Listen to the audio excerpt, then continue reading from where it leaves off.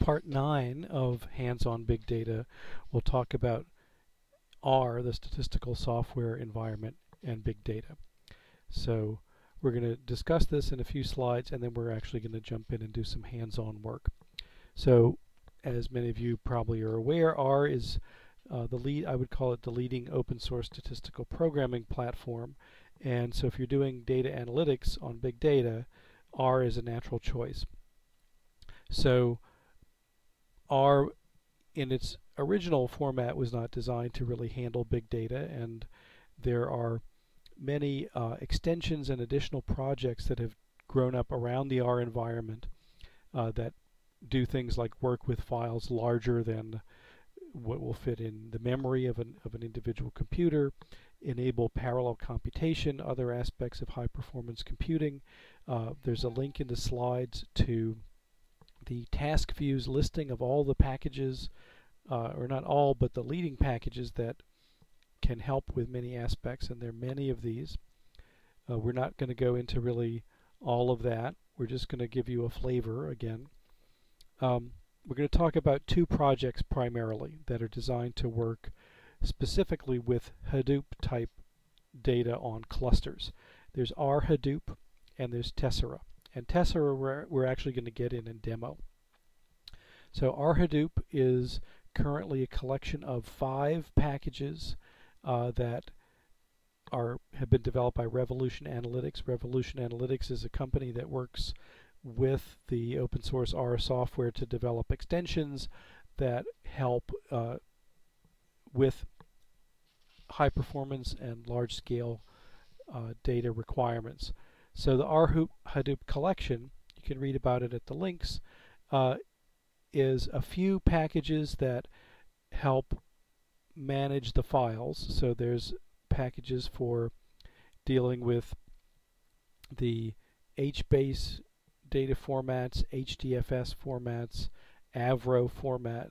Uh, those are things that you will not need that much or need just you know to to pull things in and out of the R environment. The part that I'm going to talk about are the packages RMR and PlyMR. So RMR is an abbreviation for R MapReduce, uh, which lets you run a MapReduce type job in R. And again, thinking back to our original MapReduce code, it was, you know, very uh, programming oriented. And if we look at the example code that's uh, linked in the tutorial on the Revolution Analytics site, we can see that the R MapReduce, RMR, follows somewhat of the same structure but puts the commands in more of a familiar R type syntax that's a little bit simpler.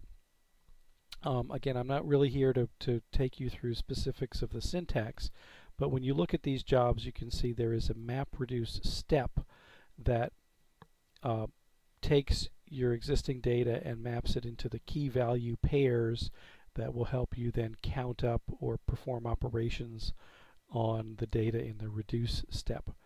And so there's some examples on the tutorial of how this works. Um, the code is structured like MapReduce, but it does not um, have all the complexity of setup that MapReduce does. Some of that is taken care of. So, you know, that's certainly a plus. That's a nice thing. Uh, even nicer, in my opinion, is the PlyMR package. Now, plyr uh, is a very popular package for data manipulation in the R environment that makes some formerly tricky things simple. And PlyMR is an effort to simply extend those plyr functions into into a MapReduce framework. So if we look at the kinds of commands that run here, PlyMR has equivalents for standard sort of R operations like selecting columns, binding columns together, uh, converting data frames via the melt and dcast, uh, counting and extracting and, uh, and sampling your data are all here in pretty simple uh, syntax. Uh, but behind the scenes, the PlyMR is translating those into MapReduce type jobs that will run on a cluster. Uh, and it almost completely hides the complexity of the cluster aspect. So uh, makes things very simple, especially if you are a plyr user. So I just wanted to tout those efforts as part of the R Hadoop project. You can read more about them at the links. Uh, there are other R packages out there. There's a Spark R package that's um, relatively new, but lets you interface between Spark and R. Uh, there are packages that let you run Hive type commands in R, inter interface with Cassandra databases. R is very fast developing and these things will pop up. Uh, by the time you're watching this, there'll probably be a couple more that have popped up in the R space. Uh, there's a book, R for Cloud Computing, that's in my list of references uh, that you can consult for some more information about how these things work in practice. Uh, I had mentioned in an earlier session, uh, but I'll repeat it here since this is the R chunk, uh, that you can easily run R in the cloud using pre-built Amazon images. Um, you can install it yourself from scratch on the cloud to configure.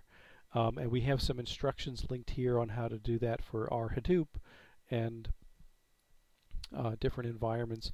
But the, the one that I'm really excited about is this uh, Louis Aslett uh, site that has links to pre-built images that you can just copy the reference and instantly uh, create a working RStudio uh, in the cloud. I'm not going to actually step through that here because the instructions are very complete.